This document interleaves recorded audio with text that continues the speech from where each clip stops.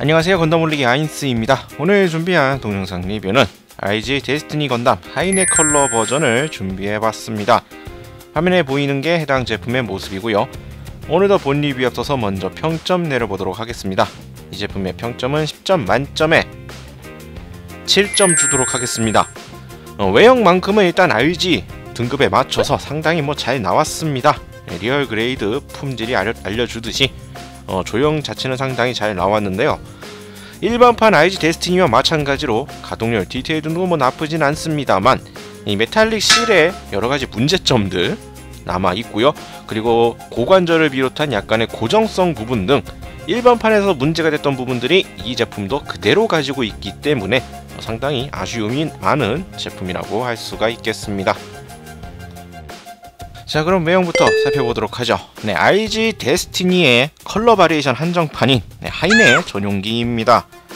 국내에서는 2014년 건프라 엑스포를 통해서 입수가 가능했던 제품이기도 하죠. 일반 데스티니 건담의 파란색 장갑을 이 하이네 컬러에 맞춘 주황색 컬러로 바꿨다고 생각하면 단방에 이해가 되는 제품이라고 볼 수가 있겠습니다. 어, 그렇기 때문에 일체 색상 외에는 조형상에서는 차이점이 전혀 없는 말 그대로 variation 한정판이라고 볼 수가 있는 제품이 되겠고요. 이러한 점들을 또 여실히 드러나게 해주는 것이 아, 요 정도는 좀 센스 있게 바꿔줬으면 좋지 않을까 싶었는데 들어있는 인물 피규어 어, 잘 보시면 아시겠지만 하이네가 아니라 신 아스카가 그대로 조형으로 들어가 있다는 것도 참고하시면 될 것 같습니다. 외형 측면에서는 일단 그래도 명색의 RG 제품이기 때문에 외부 장갑의 이러한 mold나 전체적인 디테일적인 부분들 그리고 조형만큼은 이 RG에 맞춰서 상당히 뭐 잘 나온 편이라고 볼 수가 있겠습니다. 여기에 이제 리얼리스틱 데칼도 들어가면서 좀 더 디테일 있는 외형들을 연출을 해주고 있는 모습들을 볼 수가 있는데요. 다만 여기서 좀 아쉬운 부분들이 몇 가지가 있다고 하면은 뭐 요거는 RG에 들어있는 realistic decal 특히 metallic seal 부분들의 뭐 거의 공통적인 상황이라고도 볼 수가 있겠는데 이 실이 좀 잘 벗겨진다 그래야 될까? 색깔이 어, 그러한 요소와 더 맞물려서 에, 가장 큰 문제점 중에 하나죠. 요 날개에 붙어 있는 실 같은 경우에는 이게 안쪽 면까지 그대로 이렇게 눌러서 붙여져야 하는 형태이지만 실제로 붙여놓으면 얼마 안 가서 대부분이 떨어진다라는 점. 그냥 붕 뜹니다 끝부분이 네, 이러한 접착에 대한 문제점이 조금 남아 있는 모습이고요. 대부분의 실들이 뭐 다 그러하듯 관절 부분에 붙는 이런 메탈릭 실 같은 경우에도 좌우면 이 잡아줘야 되는 좌우면 부분이 쉽게 떨어지는 형태와 이 관절 움직임에 따라 이 은색 이 코팅 부분들이 이제 벗겨지기 쉬운 이러한 아쉬운 요소들은 또 일반 관광 마찬가지로 그대로 가지고 있는 형태라고 볼 수가 있겠습니다. 뭐 얼굴에 이 피눈물 조형 뭐 IG로 IG만큼 이 부품 분할로 잘 표현들이 되어 있고요. 전체적인 데스티니 건담의 조형만큼은 상당히 잘 나왔습니다. 발이 너무 크지 않느냐 다른 IG들에 비해서 그러한 언급들도 있었지만 예, 백팩이 무거운 만큼 그나마 발이 커졌기 때문에 어느 정도 세워두는데 도움이 되는 형태라고 볼 수가 있겠고요.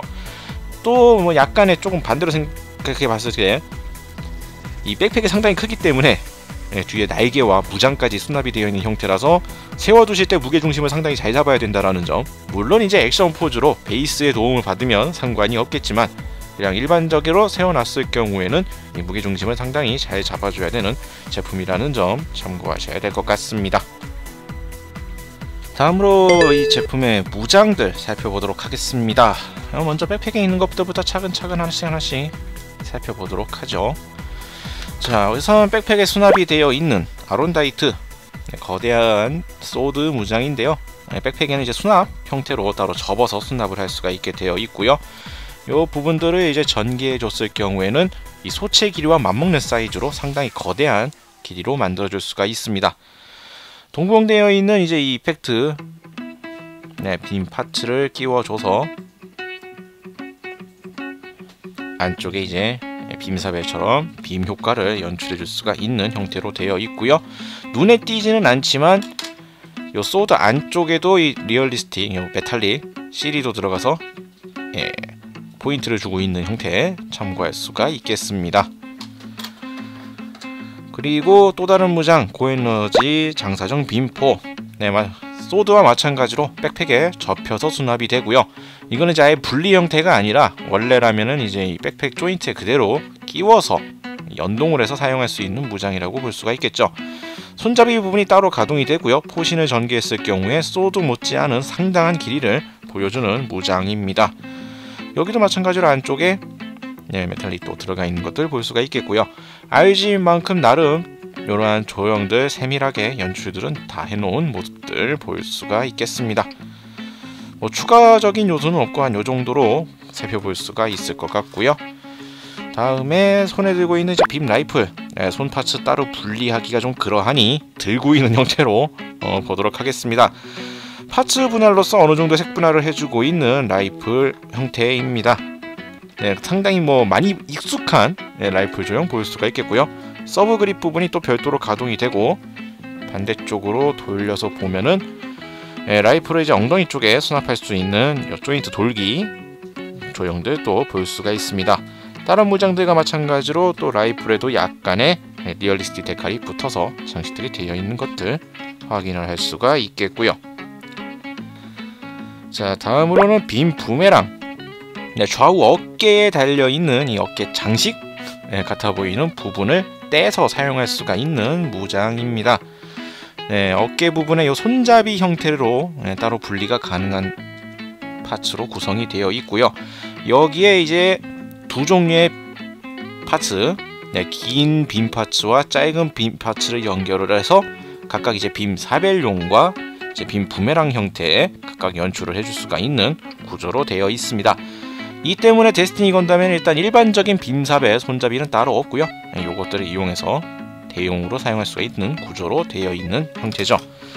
자 그리고 자, 팔뚝에 장비되어 있던 대빔 실드 뭐 일반적인 대빔 실드입니다. 말 그대로 빔 방어를 위한 네, 실드고요.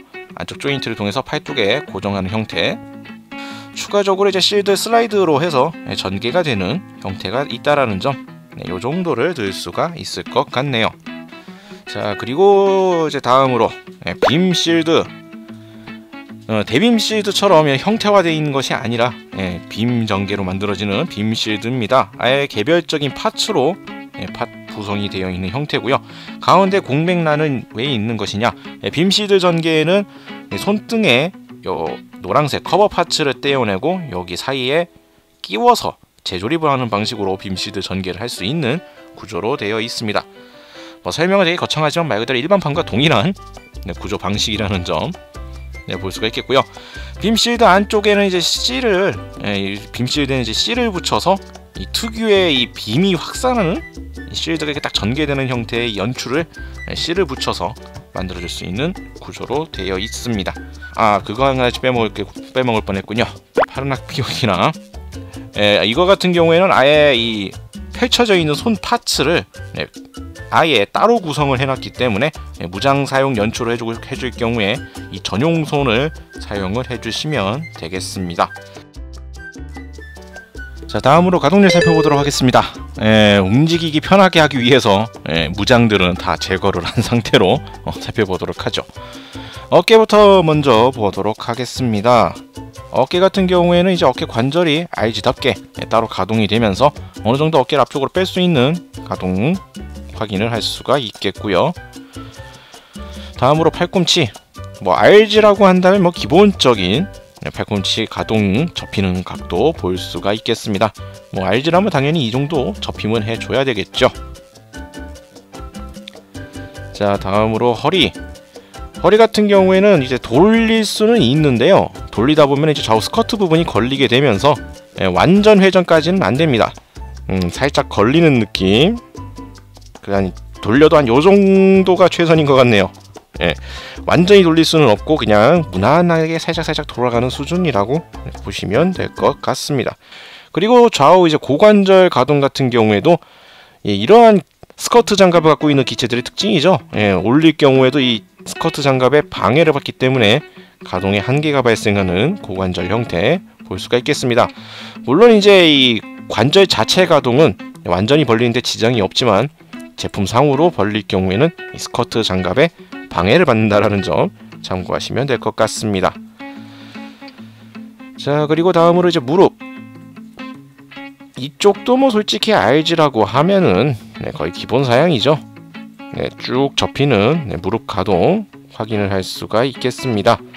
네, 다리의 뒤쪽 부분이 살짝 이제 뭐 스러스가 있기 때문에 약간의 좀 덜 굽혀 보이는 형태가 되긴 하지만 그래도 완전히 접혀지는 무릎 가동도 확인을 할 수가 있겠고요. 다음으로 이제 발목. 발목 같은 경우에는 뭐 평, 균적인 가동이라고 생각이 됩니다. 네, 좌우 그리고 뭐 앞 뒤로도 약간씩 가동이 되는 어, 파츠가 빠질 뻔했는데 네, 앞꿈치 같은 경우에 이제 또 개별적으로 어, 또 다리가 가동이 되는 형태들 볼 수가 있겠고요. 요 가동 부분에서 한 가지 조금 언급을 하자면 고관절 요 다리 자 요 다리 축 예, 요 부분이 상당히 잘 빠집니다. 예, 축 자체가 별로 길지도 않고요. 요게 잡아준다 그래야 될까? 이 느낌이 좀 많이 약해서 어, 움직이시다 보면 어느 순간 자연스레 빠져버릴 위험이 상당히 크기 때문에 어, 이러한 것들은 또 참고를 하시는 게 좋을 것 같습니다. 예, 어느 순간 다리 만지고 막 움직이다 보면 쉽게 빠질 수가 있기 때문에 놀라지 마시고 어, 참고하시는 게 좋을 것 같네요.